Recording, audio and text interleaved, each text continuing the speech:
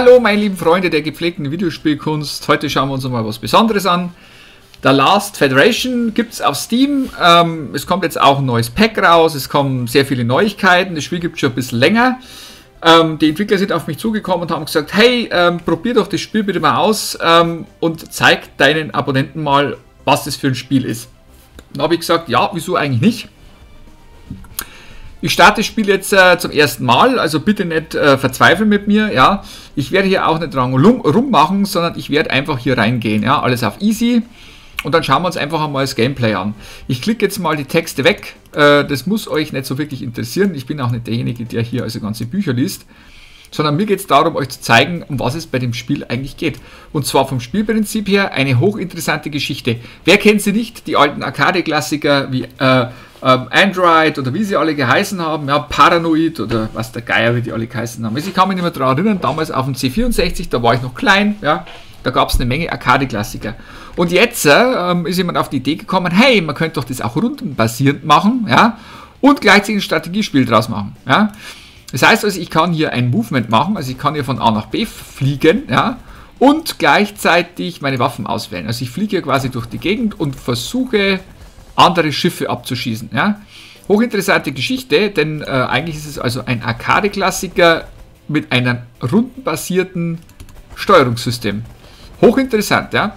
Also man sieht also mein Schiff, äh, das ich hier steuern kann und ich habe hier auch unten Waffen, die ich auswählen kann, die ich auch dann später auf upgraden kann etc. Und äh, mein Ziel ist es jetzt, äh, alle diese Feinde hier zu vernichten. Ja?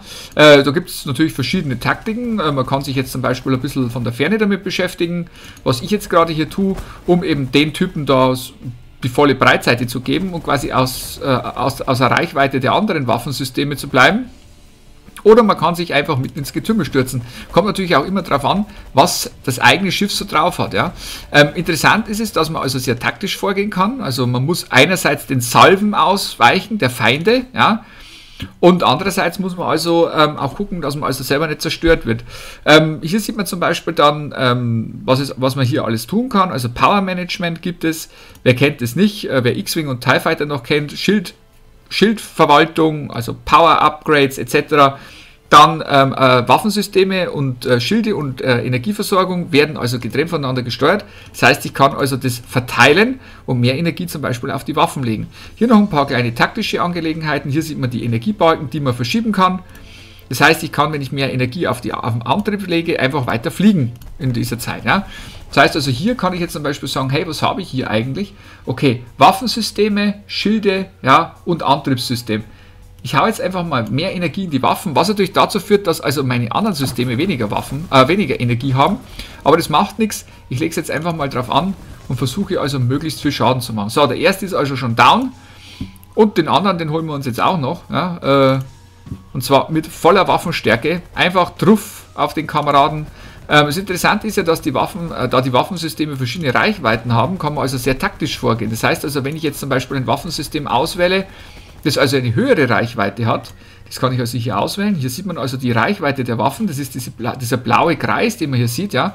Das heißt, also, ich kann also auch sagen, entweder nehme ich Kurzreichweitenkanone, zum Beispiel Energiewaffe, oder zum Beispiel auch ein anderes Geschütz, wie zum Beispiel, äh, was haben wir jetzt hier? Energy Blaster. Ja, wenn ich das auswähle, ja, dann sieht man, dann schießt das Ding also mit dem Energy Blaster, der dann auch relativ viel Schaden macht, aber natürlich eine ganz andere Schussfrequenz hat und natürlich bei bestimmten Dingen ganz anders wirksam ist kann aber auch sagen, naja, also ich hätte jetzt gern wieder meinen Standardschuss, den ich gerade gehabt habe. Der hat eine höhere Feuerrate und passt einfach besser zu mir. So, das war jetzt erstmal die Einführung zu dem Thema. Ich kann also End Combat machen. Das heißt, ich habe jetzt mein erstes Mutterschiff. Ja, und äh, dann geht es hier über Sweet Mothership. I'm going to influence. Don't worry about right now. You need to worry about gaining credit to spend, and you also need to accumulate godly amount of influence with a few races. Das heißt also, jetzt geht es in den Diplomatiestatus über. Das heißt also, es hat sehr viel mit Diplomatie zu tun. Das heißt, ich kann also meine Beziehungen zu anderen Rassen verbessern. Und dann geht es in die Echt Echtzeitstrategie. Also man kann also dann Flotten aufbauen, man kann ganze, ganze Planeten erobern und seinen Einfluss erweitern. Das sieht man hier auf dieser Karte dann. Hier gibt es also sehr viele Dinge, die man hier sehen kann. Ähm, ich sehe gerade, das ist random generated anscheinend. Ich habe beim Let's Play gesehen, da hat das anders ausgeschaut. Also ich denke mal, das ist also random. Unten haben wir einen, eine, eine, eine Leiste, wo also die Neuigkeiten gezeigt werden. Erinnert dann etwa so an ähm, diese Klassiker wie zum Beispiel Master of Orion und, und so weiter und so fort.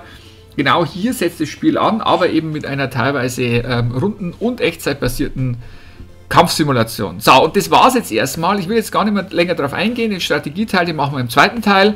Das ist ein bisschen ähm, langwieriger. Ich muss mal gucken, ob ich das alles in ein Let's Play reinpacke oder ob ich mich auch irgendwo schon hinbewege auf einen bestimmten Punkt, wo es dann einfach ein bisschen lustiger ist. Denn ein paar Credits brauche ich, weil sonst kann ich ja nichts machen. Also macht's gut, bis zum nächsten Mal. Schaut euch das Spiel auf Steam an.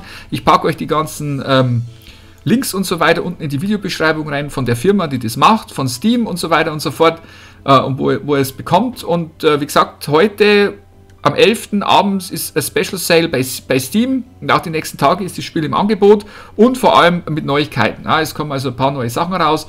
Ähm, das hat mir, die, hat mir der Entwickler mitgeteilt und das solltet ihr einfach, euch einfach mal angucken, weil das Spiel ist wirklich interessant und einfach mal anschauen. So, jetzt wünsche ich euch einen schönen Abend und eine schöne Nacht oder von mir aus auch einen guten Tag. Wir sehen uns. Ciao.